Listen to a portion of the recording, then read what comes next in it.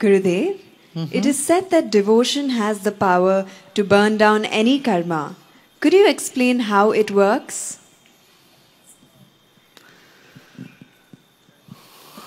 It works. How it works? What do you mean? It burns, it burns. Karma is what? Impressions in the mind. And the biggest impression is of love, of devotion. So when devotion is there, just just cleanses everything, all other impression. Isn't that your experience? Yeah? When you are in love, other things get just washed away, doesn't it?